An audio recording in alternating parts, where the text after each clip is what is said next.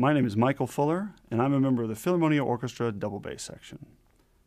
The double bass is the largest and the lowest of all the string instruments. This bass has four strings, and they are E, A, D, and G. The double bass in the orchestra is played arco with the bow,